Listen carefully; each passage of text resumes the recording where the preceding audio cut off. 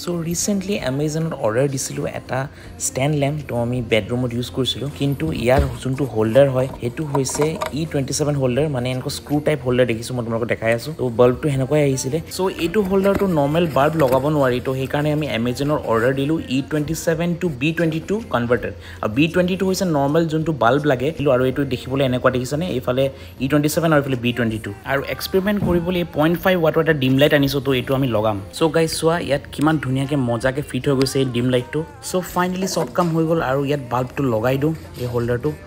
মজাকৈ তাৰপিছত ধুনীয়াকৈ ছুইচটো দি দিম তো তোমালোকে চাব পাৰা ধুনীয়াকৈ লাইটটো জ্বলি যাব